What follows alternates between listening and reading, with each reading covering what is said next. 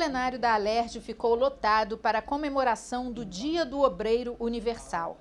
A data foi criada pela ex-deputada Rosângela Gomes e todos os anos é lembrada na casa pela deputada Tia Ju.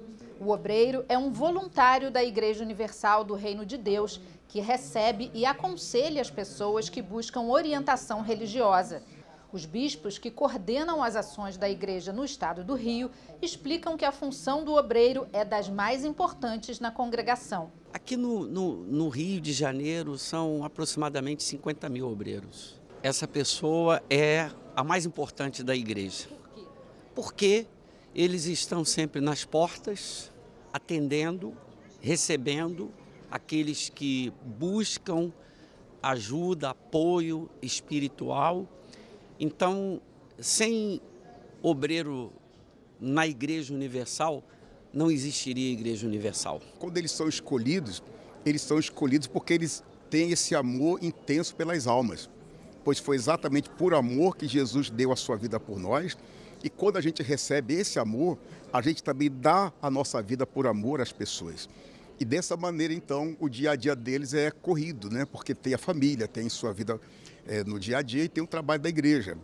Mas por conta desse amor, eles se dão por completo. A deputada Tia Ju aproveitou a cerimônia para entregar mais de 200 diplomas de mérito legislativo aos obreiros, iniciativa do mandato da parlamentar.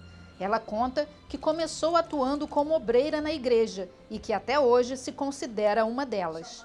O obreiro é super importante. Eles que ficam na, na, nas repartições da igreja antes de começar a reunião, eles que recepcionam as pessoas que estão chegando, eles que conversam com essas pessoas, eles que conduzem orientam o, o, qual a corrente de oração é, mais, mais indicada para o, o problema que aquela pessoa está vivendo, eles que fazem as visitas domiciliares, é, de orações nas casas, nos hospitais. São os obreiros que dão todo o suporte ao trabalho do, dos pastores, que é, é, ficam no púlpito e fazem a reunião, é, as orações. Então, eles são a coluna. Nós dizemos sempre que os obreiros são a coluna da igreja.